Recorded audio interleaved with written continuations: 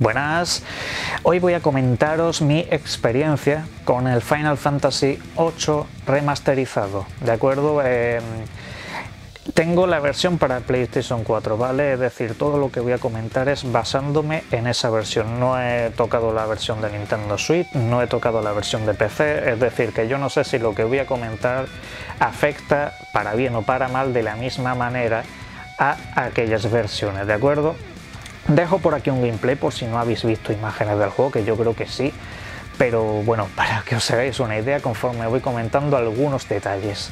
Bien, eh, yo me había comprado ya anteriormente los Final Fantasy 7 y 9 remasterizados. Y bueno, la verdad que disfruté mucho de aquella experiencia porque Final Fantasy es una de mis sagas favoritas, aquella era dorada de la PlayStation primera de verdad la recuerdo con mucha nostalgia, con mucho cariño.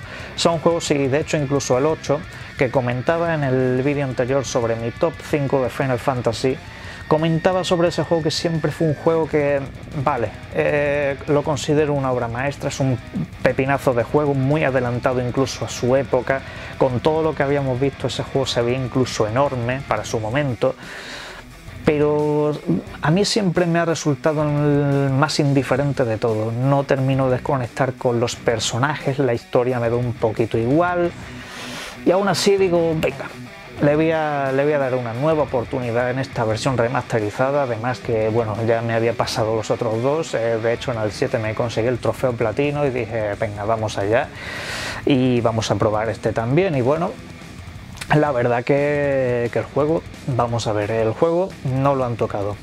Es decir, bueno, no lo han tocado, quiero decir, no vais a encontrar añadidos, no vais a encontrar nuevas líneas de diálogo, no vais a encontrar, mm, digamos, eh, una nueva historia por algún lado, no, no termina de tener absolutamente nada nuevo, ¿vale? Eh, leí por ahí que había sido que una de las misiones para conseguir, de hecho, el trofeo platino, eh, si era una novedad, lo que pasa que yo no la recuerdo, así que no sé si es verdad, pero es una misión, una misión ultra secundaria que no tiene historia alguna. Y bueno, eh, me he conseguido el trofeo platino de este juego, no es excesivamente complicado, es básicamente conseguir todos los guardianes de la fuerza, todas las invocaciones, vaya, y bueno, también no dejarte las revistas, esas que te puedes ir consiguiendo por el camino, hay muchas que son perdibles, también pues tienes que hacer alguna que otra misión secundaria, derrotar a Ente Omega, que es una barbaridad de bicharraco. Y bien, pues lo dicho, el juego es básicamente lo mismo. No, va, no vas a perderte si te conoces el juego, es simplemente han remodelado los personajes los escenarios ya no, no le he terminado yo de ver mejoría ninguna. Creo que es un rescalado, incluso le veo alguno que lo han difuminado demasiado. Es decir, los personajes principales con los que vas moviéndote los ves muy bien hechos, ¿vale? Pero en los escenarios en algunos momentos, sobre todo en las ciudades, te da la sensación de estar flotando sobre ellos.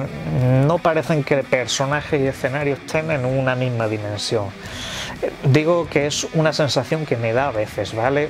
Gráficamente lo han mejorado en ese sentido. Todos los personajes ahora tienen cara, no son un montón de píxeles y puntitos, el pelo no son un montón de cuadraditos raros. Y bien, hasta ahí pues ok. El remasterizado ok, se quejaban algunos de cierto tipo de censura, tal y cual, porque hay una invocación de una sirena, la que la tapan un poquito más. Yo os veo un detalle que es que no merece ni ser comentado, ¿qué queréis que os diga? Alguien se ofende, pero es que es un detalle de nada, de absolutamente nada.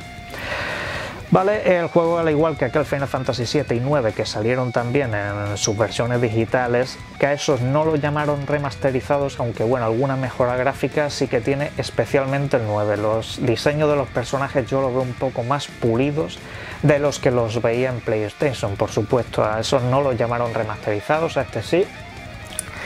Y eso es algo que mm, no sé, no sé muy bien si el remasterizado este lo han puesto un poco para tener tirón no lo termino de entender, que sí, está remasterizado, pero ¿por qué al 9 no lo llamaron remasterizado? Porque, siendo literales, remasterizado está.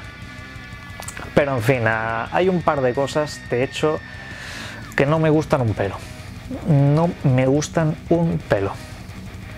El juego, durante algunos momentos, le da por fundirse, se queda muerto. El juego ya te tienes que salir al menú principal de tu consola y lo tienes que cerrar. En PlayStation 4 así me ha pasado. El juego, mm, ya os digo, eh, tenía yo una partida que estaba hinchándome a farmear, venga, vamos a subir niveles a los personajes y tal. Y en un momento dado fuera, no pude guardar la partida, no pude hacer absolutamente nada, fuera, se, se quedó colgado. Otro momento que cuando está aquel festival de la bruja al final de lo que es el disco 1, más de lo mismo, cuando ya había visto unas cuantas animaciones y tal, estoy a punto de llegar a un punto de guardado, fuera. Mm, de verdad, alguna gente decía, oye, a ver si este juego no le han corregido ciertos bugs que le dan cierto encanto, no sé qué. No solo no han corregido muchos de los bugs que tenía el juego, porque algunos me los sabía de memoria y siguen estando, sino que tiene fallos nuevos yo insisto cuando digo que Final Fantasy VIII a mí nunca me ha llamado especialmente la atención, pero es que una obra de este tipo no la puedes tratar así. No puede ser, no puede ser que tres consolas, tres, tres generaciones de consolas después, ese juego siga teniendo fallos y le añadas otros nuevos. ¿Me lo podéis explicar? Es que no tiene sentido alguno, no tiene razón de ser que eso pase. De hecho, hay otro detalle en el que me he fijado que es que eh, el juego sigue teniendo como parones eh, de los... Eh, vamos a ver, cuando en su momento jugabas a este juego era una PlayStation primera, era una consola nueva, no podía tirar de tanto gráfico, pues cuando había cinemáticas se iba como a trompicones, ¿vale? Sigue pasando. En una PlayStation 4. Sigue pasando algunos me dicen, no, es que es para que no pierda un poco el encanto del juego y tal.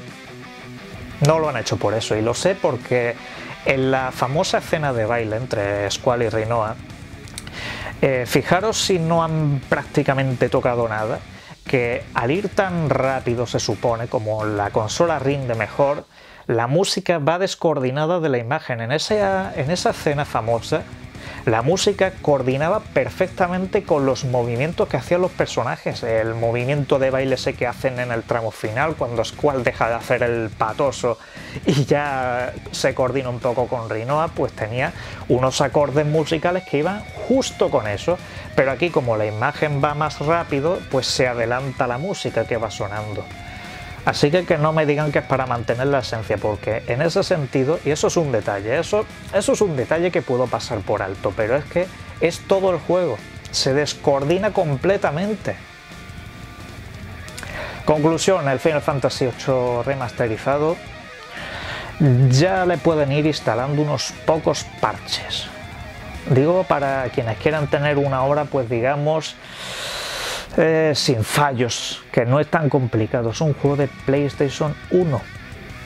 No puede ser que en una PlayStation 4 el juego tenga más errores y, y, encima la música se descoordine con la imagen, que de verdad una composición musical como la que tiene ese juego no te la puedes cargar de esa manera porque esa música se compuso para coordinarla perfectamente con los personajes, con lo que pasaba en pantalla sabor agridulce con este juego que, a ver, me lo he pasado muy bien, no deja de ser el juego que era, no deja de ser esa pedazo de obra maestra.